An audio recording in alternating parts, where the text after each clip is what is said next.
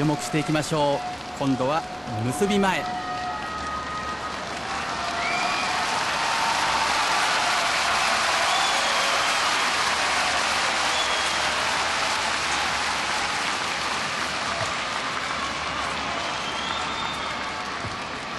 まさにここまでは貴乃花。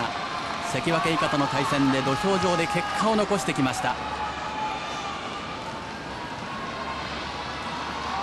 8勝2敗。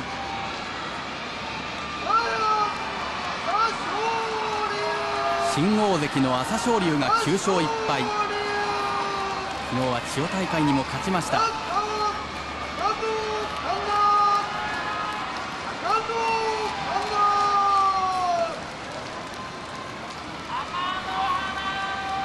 乃花は何よりも強靭な精神力が肉体を引っ張ったようなそういった印象です。復調への道を踏みしめている貴乃花。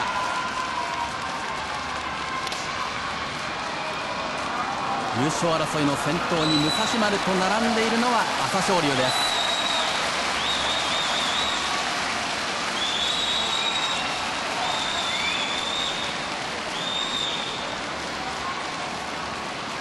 東方大関朝青龍モンゴルウランバートル出身高砂部屋。西方横綱貴乃花東京都中野区出身双子山部屋。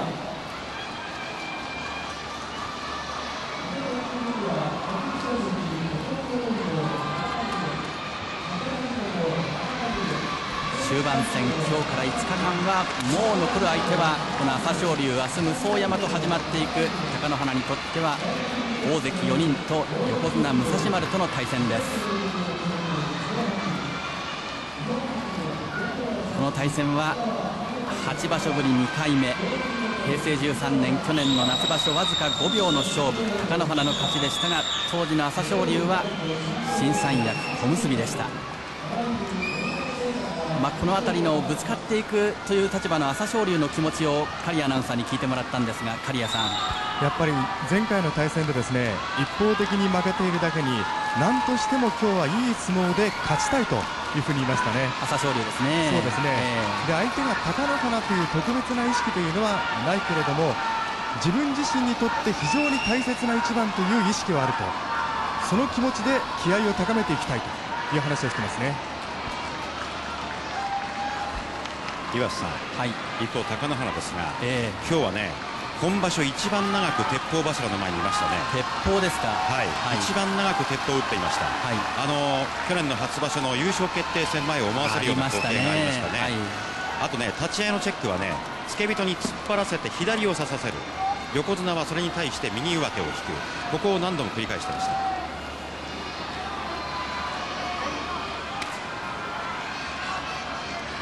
曙さんにポイントを伺おうと思います。どこに注目されますか？やはり立ち合いですね。あのー、朝青龍はやはり相撲うまいしどういう立ち合いをするのかですね。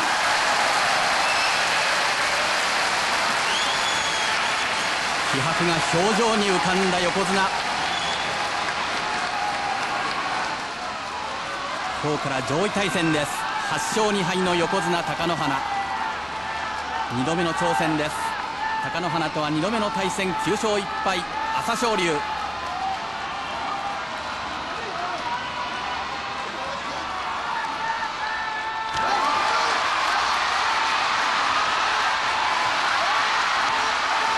がらない貴乃花。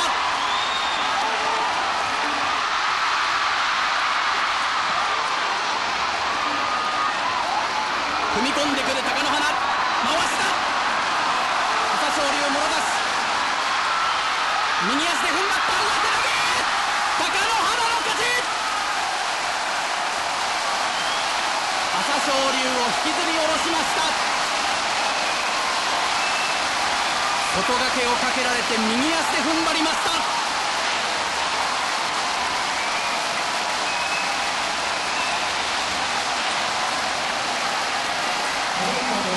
力がみなぎります。横綱貴乃花。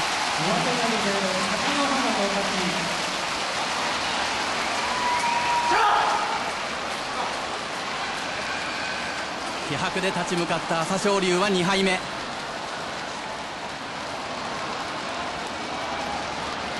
さん何かこうですねあの体が震えるようなですね感動とですねいい相撲だったなという。いや2人ともに拍手を送りたいですね。